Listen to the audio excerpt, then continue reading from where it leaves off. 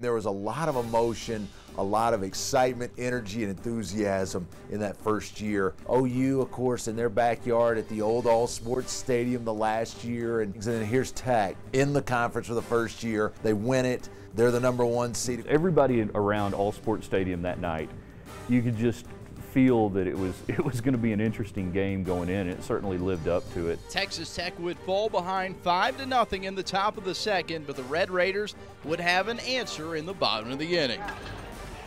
Rips it up the middle. It's 5 2.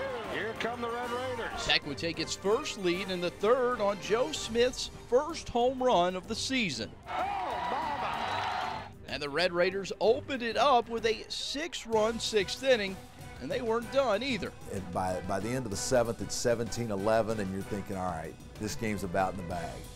But Oklahoma had other ideas. It was a dogfight. It was the, the end of the, uh, the tournament, and everybody exhausted their pitching. You just kept, you, you couldn't get out, you know?